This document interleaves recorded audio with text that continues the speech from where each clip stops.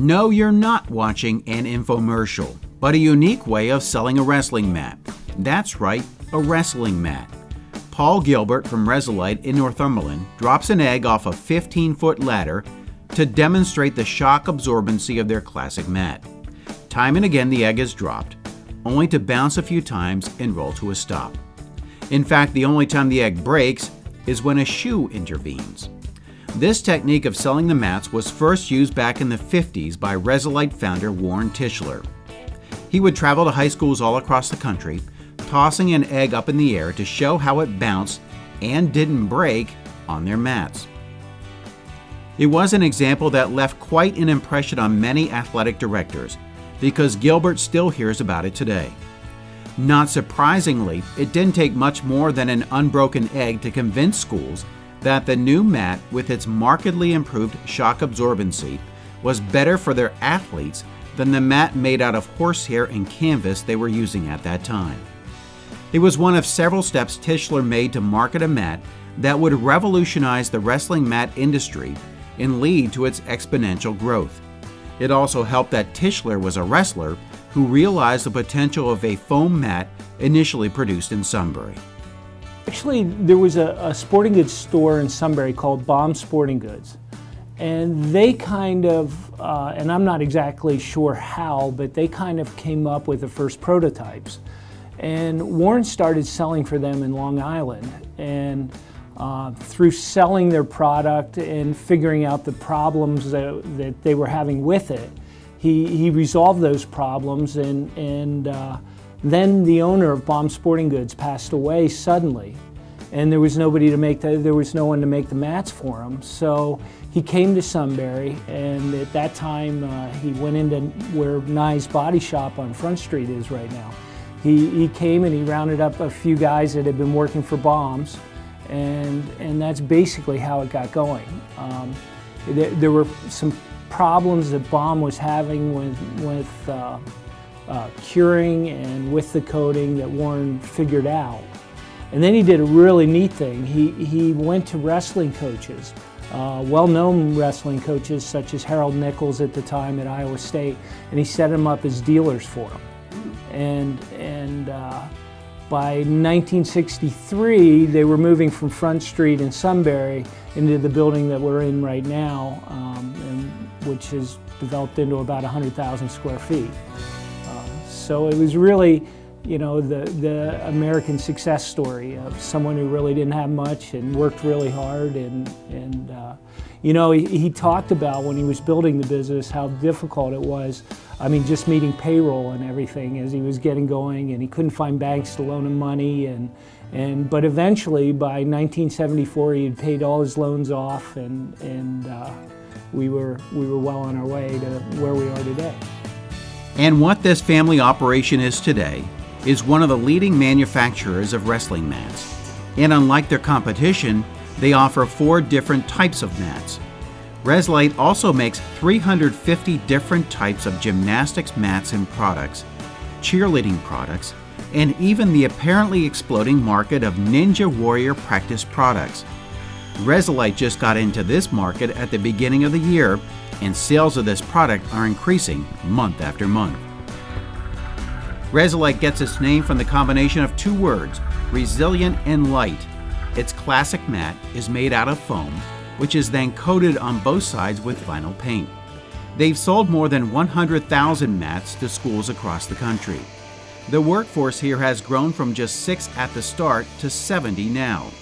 It takes them about three days to make a mat, with the assembly first, then a stint in the sprayer room, followed by a period of curing on one of many large racks here. Teams of six to eight employees work on the mat during each stage, which also includes a relatively new feature here at Resilite digital printing or DigiPrint. It involves a technology that's so new, we could only shoot a portion of what was being printed on this day so as not to give away one of Resilite's trade secrets. Um, this actually goes through a UV printer and uh, it, it, prints on the surface. Then we send it through a UV top coater and it puts this clear coat over top that protects it. The neat thing about this is it, it shows where a standard mat, when you use it, will show scuff marks. um, just from wear, where this really minimizes scuff and it keeps a really nice uh, glossy finish to it. And the, and the other thing, of course, is that we can print anything onto the surface. You know, if you have an idea or design, and we have a graphics design team here that is very talented, and and they came, you know, they come up with different ideas, and and so it's really exciting. When you show a school a, a mat, you know, with just plain Selinsgrove wrestling, and maybe have a two-tone, uh, and you show that to them, and then you show them this I mean, these are a little more expensive, but it doesn't, you know, it, it is really spectacular. Resilite had been a two shift operation, but went down to one thanks to another product they make lightweight wrestling mats. They're made with a different kind of foam and are only spray painted on one side, shortening the amount of time it takes to make one. Most wrestling programs choose classic mats for their training rooms and lightweight mats for competitions and tournaments. The classic mat surface is preferred for repetitive training, while the lightweight mats with an optional tape-free zip connector are preferred for scenarios when the mat will be set up, taken down, moved, and stored often. A normal wrestling mat would, would go together like this, and then you would put tape to hold the, down the seam to hold the sections together. With a zip mat, we've, we have a connecting system it's called a ResiLock connecting system. And we, we give you a, a lubricant. And you just slide the lubricant down the track. Now you're doing this on a large mat. Right. Um, you snap in one end, you snap in the other end, and then we give you a roller that all you do is you walk down the seam, and this, this seam snaps together. And now you, you, your mat is a solid one piece. After testing the new connecting system, Resilite sent one to Southern Columbia, which tried it out for a few weeks in its wrestling room. Head coach Jerry Marks called Gilbert excited to buy one which told him they were onto something big. After several months of testing with schools, Resilite introduced it at various tournaments throughout the country, including the PIAA State Wrestling Championships, and officially launched the product during FanFest at the NCAA Wrestling Championships. It's really taken off since then. Despite selling thousands of mats and supplying them for state and college tournaments, Resilite did hit a rough patch in the 70s the U.S. was in a recession, and their wrestling mat business backed off a bit. That's when Tischler challenged one of his sharpest employees to start a gymnastics division, which added to the company's growth. They started out with small folding mats, which were really for physical fitness, but soon had worked their way up to a full suite of gymnastics products. Gymnastics is a little bit uh, of a different animal in that there's, there's a, a large variety of mats that are necessary for the sport. Um, they, they give the athletes and the coaches the ability to choose different types of surfaces to land on depending on the types of skills the kids are doing. And talk about the different kind of mats. I mean, what? Well, the, the way that we approach our mats, we, uh, we, kind of, we put them into different categories. We have skill development products that are really foam products and they're basically made like a mat. But those products are designed to actually teach kids specific skills. Uh, so as they learn that skill, they start understanding, uh, you know, it's, it's all about repetitive training and memory. So when they do those skills, it helps them maintain the body position they need to be in to do them. Other mats would be uh, skill cushions, throw mats, competition landing mats.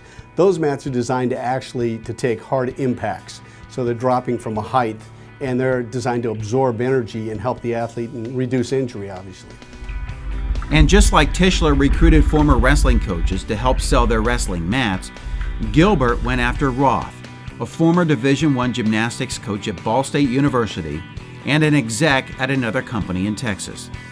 He tells us his industry experience does give him a little edge in that he knows what a coach is looking for, so they already have a bit of a jump start in developing a new product. You'll find Resilite's gymnastics products in gyms all across the country. The idea is to make products that help kids become gymnasts. So they're making products that will help them really develop their skills and provide the coaches with training products that get young athletes to a point where they become competitive gymnasts. Competition has always been a big part of Resilite's business in wrestling and gymnastics. It is the supplier of wrestling mats for the PIAA State Wrestling Championships each year in Hershey, and they've also done so in New Jersey, California, Florida, and Georgia. They've also been the official mat supplier for the NCAA Wrestling Championships at all three divisional levels since 1963. They provide six to eight mats, depending on the division, and they work closely with the NCAA and ESPN on the mat design and color, using the NCAA logo in the center circle of each mat.